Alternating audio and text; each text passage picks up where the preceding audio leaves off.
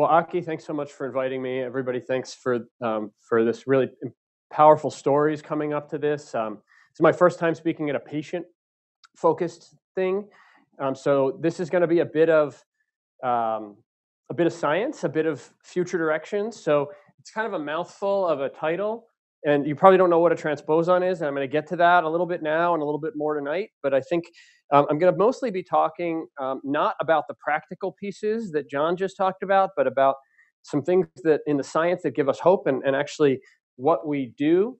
So, uh, by way of disclosures, I work with a company called Rome Therapeutics pretty extensively to try to make new drugs that we hope may one day be cancer medicines.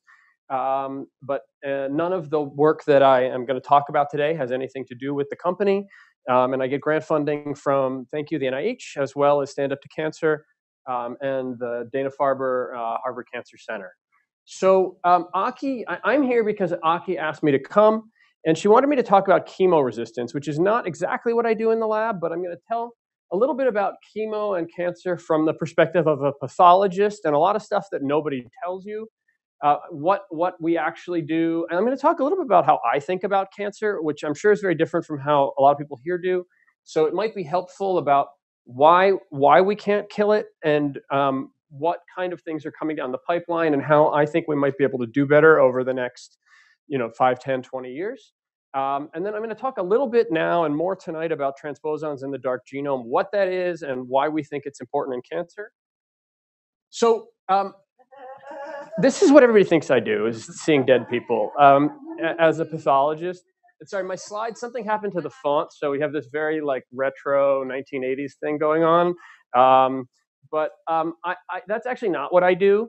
Um, so pathologists are key. We do behind the scenes parts of cancer care, mostly diagnostics and prognostics. And I guess actually, John, you, you really put that lid on it. I'm your sorting hat. Um, so we are trying to be, so I'm going to talk a little bit about how the sorting hat works, and then also about how um, we're trying to make it better what we don't know. So we do a lot of diagnostics and prognostics. So anytime a biopsy or a resection or any of these bespoke assays or next generation sequencing assays are run, they come through us.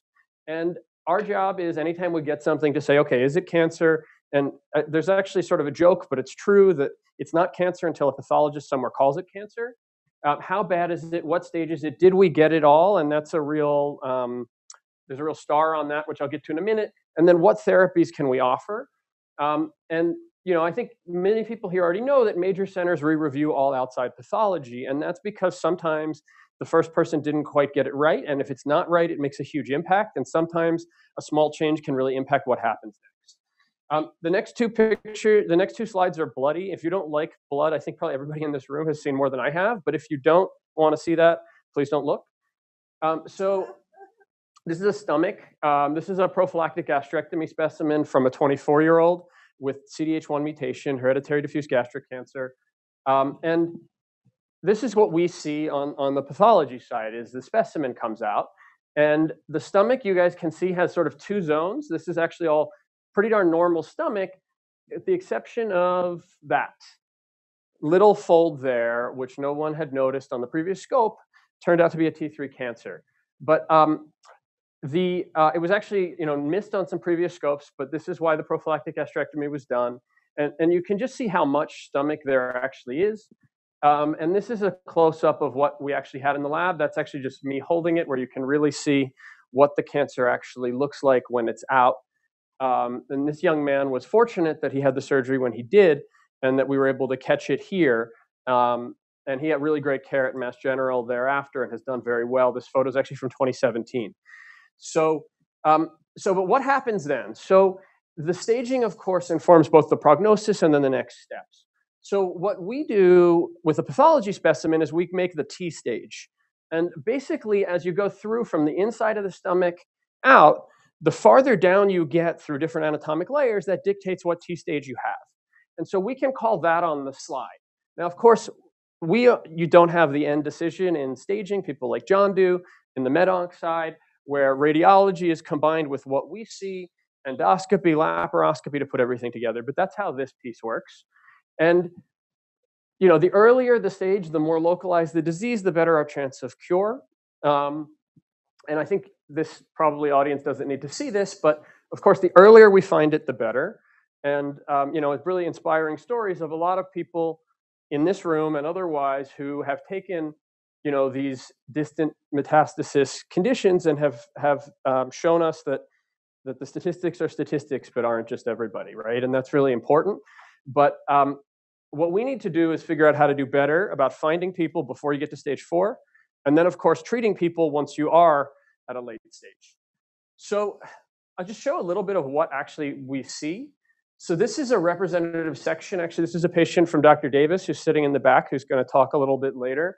Um, this is a section of stomach on H&E, and it may look like a magic eye because that's what I thought it looked like the first time I saw it. Um, and what you're looking at here are uh, normal glands in the stomach. This is the inside of the stomach in the bottom left, and the muscle would be attached here in the top right.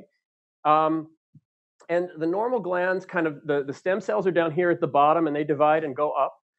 And the normal glands are a lot of the place, but actually this slide has cancer on it in two different places.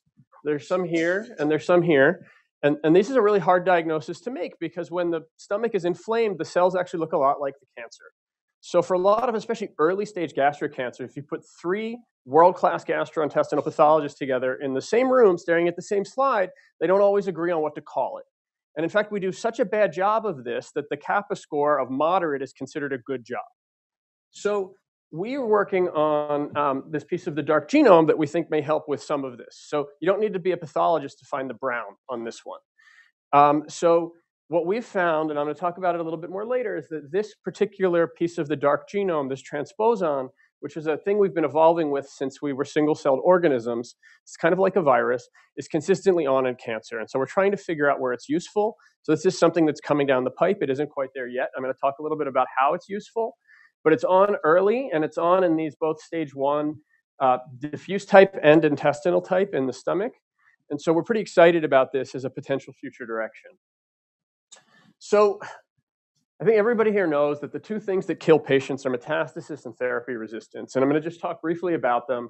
I'm going to talk about why this is hard to eradicate. Basically, cancers are made up of billions of cells. It's a really big number and it's hard to wrap your head around, and they're old and complicated. So, an average colon cancer, when it um, presents, I know this is stomach, but the same rules probably apply. We just understand the colon a little bit better, is between 17 and 40 years old since the time the first bad event happened until that cancer is around. So a lot of things can happen over that long, and what is, is, is uh, comes out is heterogeneous. And you know, everybody says everything is unique, but in cancer, it's really true that every cancer is not the same as any other cancer because there's a unique path that it went in a unique genetics and a unique person, and that matters. And so, of course, I've said we need to find it earlier, and the numbers of just cells and things that can happen in the cell are enormous because it's a very complicated machine, and all the levers can get pulled in a bunch of different ways. So the classic teaching is that cancer is a problem of uncontrolled growth. Now, I find this actually incredibly unhelpful. And the reason it's not helpful is because the lining of your stomach and of your entire GI tract basically divides every single day. And if your cancer divided every single day, it would double every single day. It doesn't do that. And the problem is the damn thing just won't die, right? It doesn't, it's not that it's growing too much. It just doesn't die when it's supposed to. And if we think about it that way, it's a little bit more helpful to understand what's going on. So this is from my colleague Dejan Juric at Mass General, who works on heterogeneity at the Termeer Center there. And um, the curves are just basically trying to show how many cells are in a cancer and how far you have to get if you want to eradicate it. So even if you have a little, a little uh, cancer, a one centimeter lesion, the one centimeter lesion has about a billion cells in it. When you get out to 10 centimeters, now you have a trillion cells. And so we can, you know, we can make a diagnosis on a slide on a few hundred cells because they look funny. But if you think about just how many that is and how many you have to kill if you want to cure somebody, even if you cut out the main tumor, it's a lot. And the bigger the tumor, the harder it is, of course, and it becomes exponential. So, and then heterogeneity is the big problem that causes resistance because in a billion cells or 100 billion cells, you have a lot of slight differences that end up being meaningful. So about half of gastric cancers and, and gastroesophageal cancers are essentially intrinsically resistant to the therapy that we give up front, the platinum and and the FU, the 5-FU and everything else, if you measure at least by RECIST criteria, meaning like how, what happens on the scan. You guys all know this. Um, and then what's been very frustrating is that the genomics that's been done, people have sequenced everything and you know, generated terabytes of data, and the associations just aren't very powerful. All of the mutations that we know, especially in the GE cancer, they correlate a little bit with how well various therapies works. Now, of course, if you have a particular mutation, we have a targeted therapy, that's where precision medicine is coming in, and that's definitely the future. But we don't really understand that well why people are and aren't resistant. And here's just an example with PD-L1, which is the, of course, the marker for the classic immunotherapy. And you can see that if this whole ball is the tumor in that little section, that's a few hundred slides, they don't all have the same staining pattern. And that heterogeneity is true for not just PD-L1, but all of the 20,000 proteins in the proteome and many other things. So that is a big problem. And all it takes is a very small percentage of them to be resistant to standard therapy, and then they've grown out over time. So if you think about it in, in evolutionary terms, you know, you, you basically get rid of almost all of them, and then a new clone comes out, and that's where the problem arises. So how do we do about it? What do we do about it? So one of the things um, that, that a lot of people in this field are thinking about now is micrometastasis, which is um, not only can we get the local cancer, but can we do a better job up front of removing the micrometastases? These are the small little bits that are throughout the body that we can't see, that we can't detect by any method that we have now.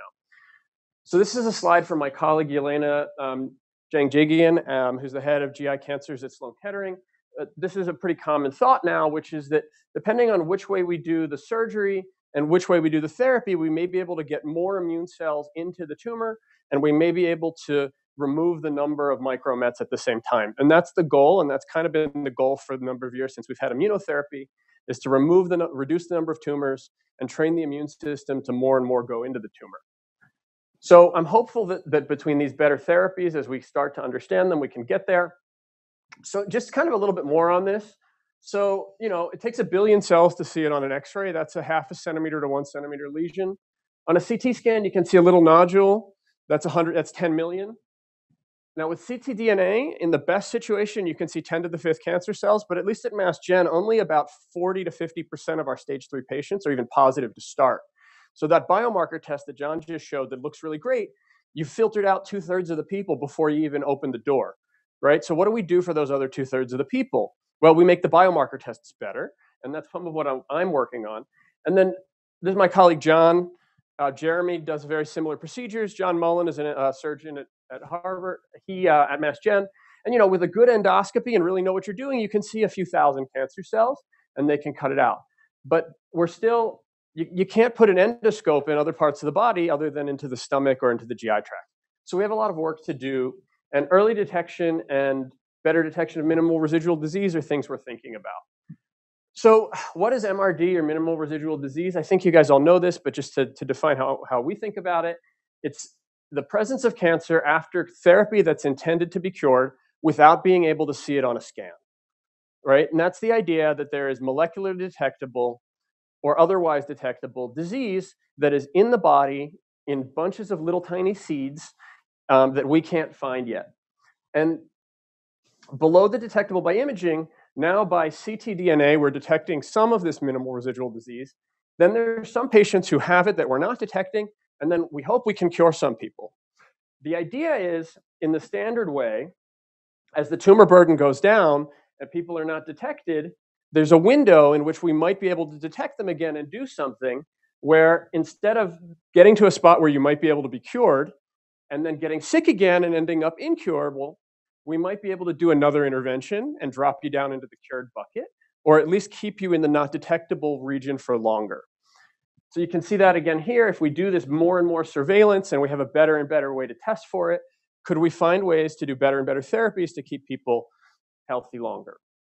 So this is Sam's um, slide on kind of another way of thinking about that, which is most of our therapy, we just give everybody the same thing, right? We throw everybody in, in platinum, like John said. Um, that's a sort of a standard approach, and it's very common, and it's a good approach. Um, you know, we do the first chemo, it stops working. Okay, then what? Well, now we have to decide what to do again. So we try something else. Now it stopped working again. And I just heard from a number of people that that's where we are. right? That's where people in this room are sitting. So how do you decide what do you do? Well, what if we could do a better therapy up front and we hold our chemo options until later? Or what if we could better pick who goes on which therapy? With the hope is that we could push it out for further as we've got better and better targeted therapies. So, so that's the part I've never talked about before. So hopefully that was not a total waste of everybody's time. Um, so I'm just going to talk. I have four minutes, and then I'll talk a little bit more tonight about what I do. So, well, that way it came out great. Um, so um, the transposon that I work on called line one is a virus-like sequence that makes up, it's written about a third of the human genome. We have hundreds of thousands of copies of this thing that looks a lot like HIV virus sitting in our genome. And of those hundreds of thousands of copies, everybody has about 100 that are active. And all it wants to do is copy and paste itself to a new place. It's like a computer virus that just wants to make a new copy in a new place. And in trying to do that, we think it causes a lot of problems.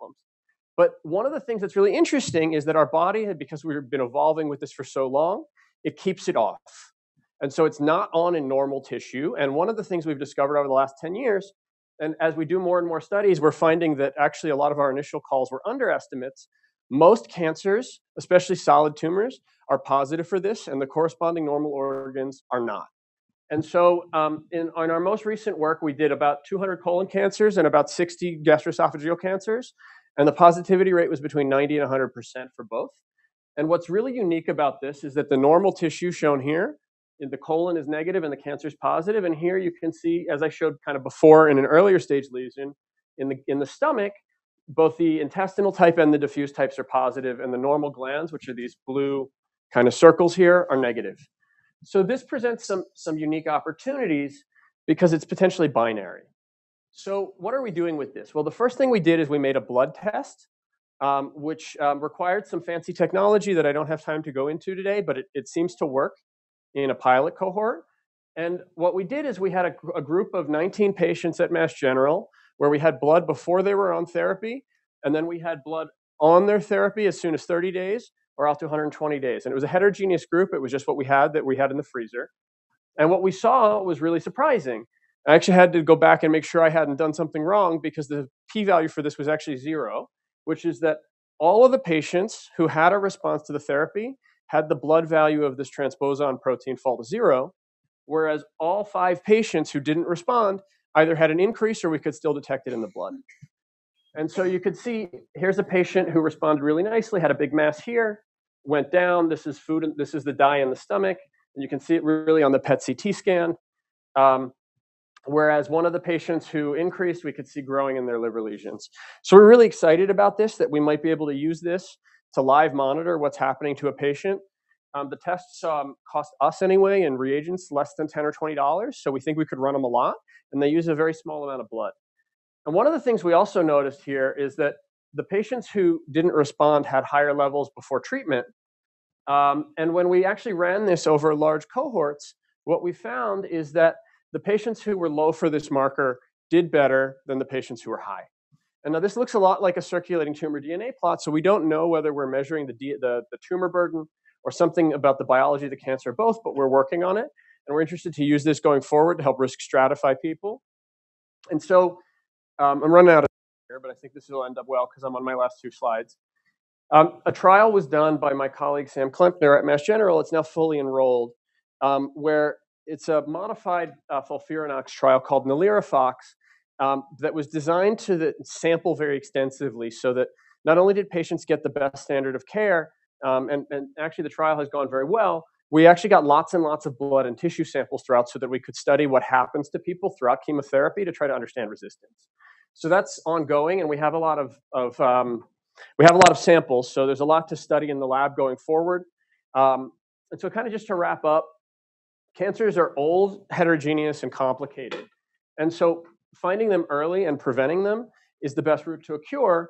Um, but, uh, but as we heard earlier, that doesn't help you now if you're already stage four. So um, I think that, as John was saying, a lot of these revolutions in technology, we have better and better tools and better and better molecular understanding new therapies are coming down the pipe that are going to work better, and we're going to be able to make improvements. Um, so I just want to thank everybody again for the stories and for participating in the trials. It makes the biggest difference, and it's great for me to hear um, You know, I miss this part of the as a pathologist. I miss the communication with patients, and and I really am just inspired by by the strength of everybody to to to, to push through this and to work through this and to keep fighting. And it helps us to learn how to provide better care. So we're really grateful. So anybody who wants to know our team, we have a great team at Sloan at uh, both Sloan Kettering in collaboration and at Mass Gen, um, who are running trials. And Jeremy Davis, who'll talk in a little bit at the NIH. And then um, the transposon stuff, I'm going to talk a little bit more about tonight. I'll just say for now that we think in the future this is going to be very useful as a biomarker.